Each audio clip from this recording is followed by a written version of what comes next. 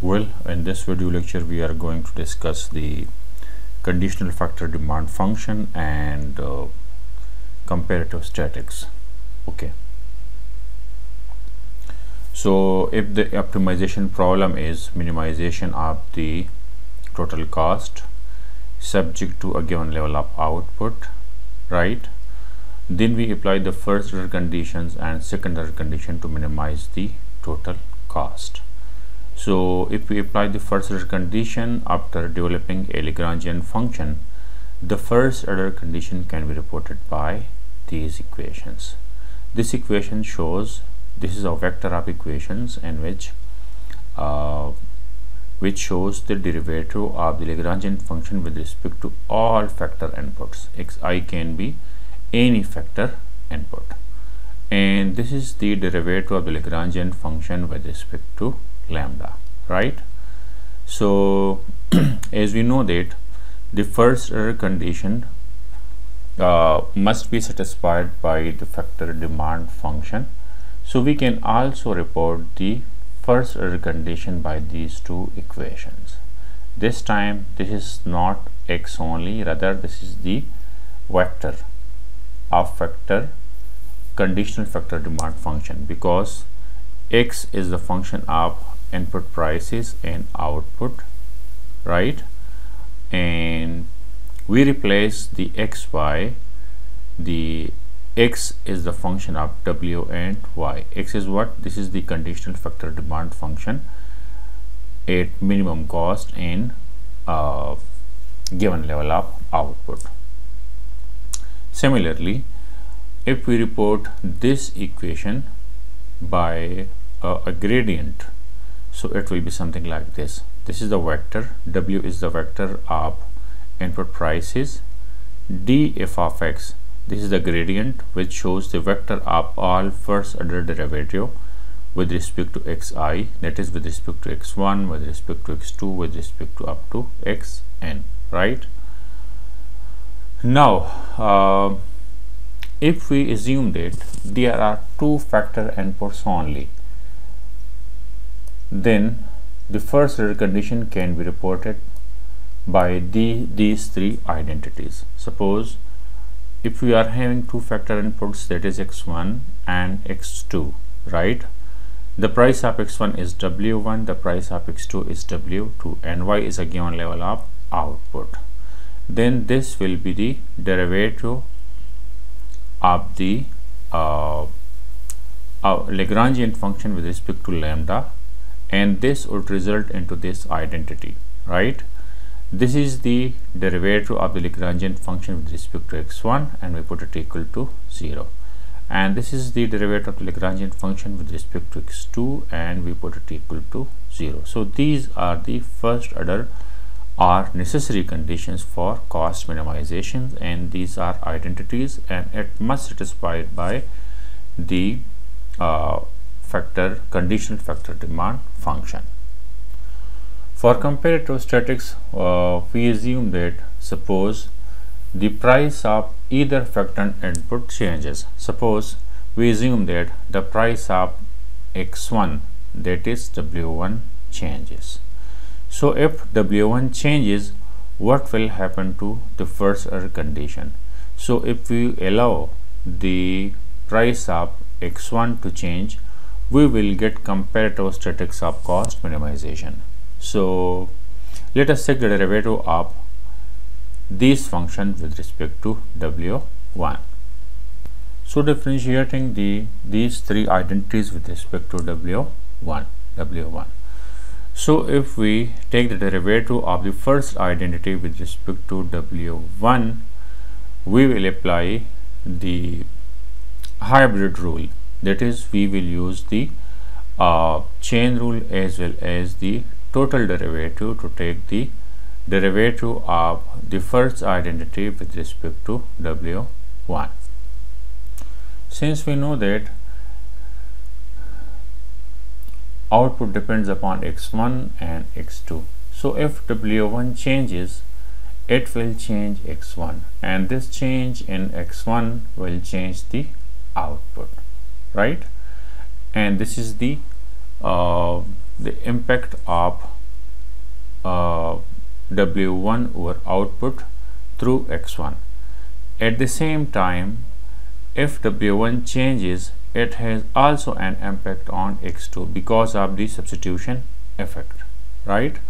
And this x2 in turn changes the output so that's why we put a plus sign. So as to take the total derivative of the production function. And again we put it equal to 0 so this is how to take the derivative of the first identity with respect to w1 so w1 has an impact both on x1 as well as x2 the impact of w1 on x1 is on price effect but the effect of w1 on x2 is cross price effect. And both in these effects we uh, observe the we applied the chain rule. That is change in w1 as well uh, in x1 as well as x2 then these changes in x1 and x2 then changes your output level. Similarly if we take the um, derivative of the second identity with respect to w1 the second identity is given by this uh, this equation. So if we take the derivative of w1 with respect to w1 we will get 1 minus as it is. And now you can see these are two functions. first function is lambda and the second function is this entire derivative. So if you want to take the derivative of uh, lambda time this function we will apply the product rule. So lambda as it is the derivative of this function with respect to w1 plus this function as it is which is denoted by f1 and the derivative of lambda with respect to w1 and again we put it equal to 0 because it has already been put equal to 0 all right so it should be noted that f1 is already the derivative of the production function with respect to x1 so lambda as it is and this derivative can be reported as as w1 changes change in w1 leads to change in x1 and change in x1 leads to change in f. But it should be noted that one derivative of the production function with respect to x1 is already here because this is f1 this is the derivative of the function with respect to x1 so that's why it has become uh, change in x1 square. And this is partial square f. So that's why this is a second order derivative. Why this is second order derivative? Because this is already a first order derivative with respect to x1 plus look at this when w1 changes it has an impact on x2 and this x2 has an impact on the production function. Because note that this is total derivative. W1 changes x1 as well as x2 so this is the derivative of the function with respect to uh, w1 right and this is the change in x2 with respect to w1 because change partial derivative with respect to w1 of f1 f1 contains both x1 as well as x2 so it should be noted. We will take the derivative of x1 with respect to w1 we will also take the derivative of x2 with respect to w1 so that's why w1 changes x1 and then x1 changes your production function. Plus w1 changes x2 and this x2 changes production function. But this is change x1 change x2 the reason is this is already first order derivative with respect to x1 and the second partial is because of w1 w1 changes x2 and this x2 changes then your production function. So we are done with uh, till this this point lambda. This entire thing is change in change in f1 due to change in w1 since we are applying the product rule we have to put a plus but this minus and plus turns it into negative right? And now we have to take the derivative of this function with respect to w1 now look at it. F1 as it is now we don't have to change it. And we will take the derivative of lambda with respect to w1 so look at it. Lambda the derivative of this function with respect to w1 plus this function as it is the derivative of lambda with respect to w1 so we applied the uh, product rule over here.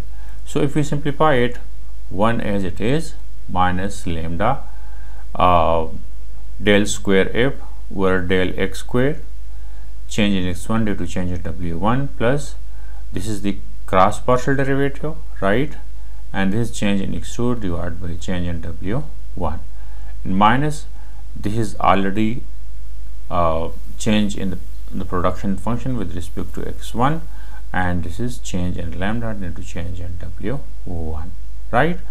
Now in the same way we have to take the derivative of the third equation the third identity with respect to w1 so repeating the same process something like this we will get uh, this equation. Look at it. So we got three equation. The first equation is this one right? The second equation is this one and the third is this one. So we can uh, we can report these three equations in the form of three different matrices. So converting these three equations into matrix form we will get these equation in matrix form something like this. So again look at it. If we multiply these two matrices so again we will get the above uh, three equations right? So now we can solve uh, this system of equation using Cramer's rule.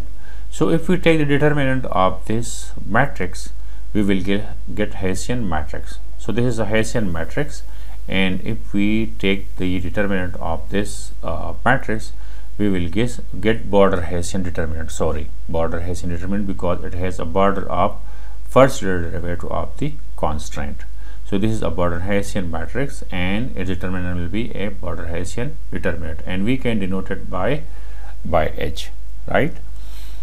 Okay for Cramer's rules if we want to solve it for change in lambda divided by change in W1 we have to remove the first column and we have to replace it by this column right? We will get a matrix then we have to we have to calculate the determinant of it right? And we will divide the determinant of that by the border a determinant and we will get the value of this. But if we are interested in change in x1 divided by change in w1 we have to remove the second column of this matrix and we will replace it by this matrix right? Something like this. Look at it as we did it here. The first and the last column are as it is but we replace the mid column by this matrix right? And if we take the determinant of it and if we divide it by the determinant of the border Hessian matrix we will get this equation right? And this is less than 0 why this is less than 0 because for minimum cost border Hessian determinant must be less than 0 it must be negative. And we can see that this is a square square is positive value because the square of negative as well as the positive values is positive value. So the numerator is positive and for the minimum cost border Hessian should be negative. So that's why overall this is negative. So what does this mean? It, it means that the demand for factor input with respect to uh, change in its price will be negatively slope higher the wage rate lower will be the demand for x1 lower the wage rate higher will be the demand for x1 because it is negative. It, it has a negative sign. In the same way if we want to calculate a change in x2 divided by change in x1 we have to replace the third column of this matrix sorry this matrix by this one right and we will take its determinant and we will divide it by the border Hessian determinant. So we will get this value right? And you can say that it is positive because the numerator is negative. If we take the determinant of this matrix right? So these two values this if we normalize it by first row the first and the last term will be 0 because its value is 0 and if we normalize it by this right? We will eliminate this column and this row. We will get these four values this value this value this value and this value. If we multiply these two right minus the multiplication of these two it will result into a negative value. So this is positive. So it means that factor x1 and x2 are substitutes. The reason is if there is an increase in w1 that is the price of x1 there will be an increase in the demand for x2 because it has a positive sign. So it means that both the factor inputs are substitute. In the same way a change in x1 divided by change in w2 it is also equal to a positive value. So the cross price effect uh, is positive which means that uh, and they are also the same look at it. Change x2 divided by change in w1 and change x1 divided by change in w2 both results into same value. They are the same which is also the uh, result of the Young's theorem the substitution property which means that the cross price effect is uh, equal and it is also positive. So it means that both the factor inputs are substitute substitutes of each other. So this is how to do the comparative statistics of cost minimization. Thank you. Thanks for watching